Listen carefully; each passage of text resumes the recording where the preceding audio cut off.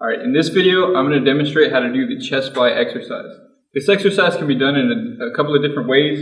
I'm going to show you how to do it on the cables, um, but you can also do it on the bench and you can grab some dumbbells.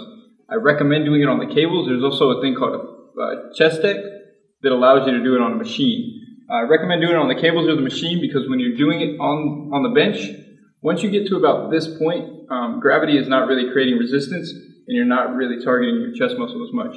So this is going to get a, a better target throughout the range of motion.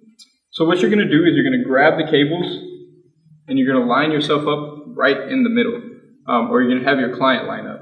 You can usually tell just by looking up, there's usually a pull up or push up bar. You just get right in the middle of that, and then you're going to step forward just a little bit.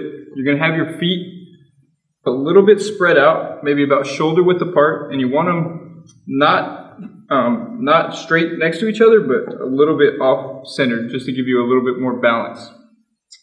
What you're going to do is you're just going to adduct, horizontally adduct the chest muscles, and then horizontally abduct at the shoulder joint. Um, so horizontally adduct, and then horizontally abduct. You want to make sure that your elbows are slightly bent, but you're not bending them while you're doing the exercise. So keep them slightly bent, throughout the range of motion. Don't lean too far forward or too far back.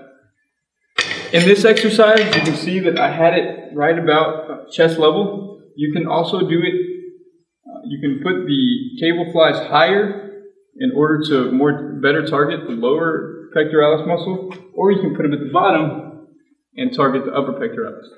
So that's the chest fly exercise.